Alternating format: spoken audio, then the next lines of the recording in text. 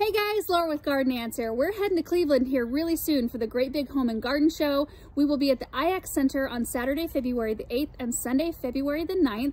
I'll be giving a presentation. We'll do a meet and greet afterwards. It's going to be a ton of fun.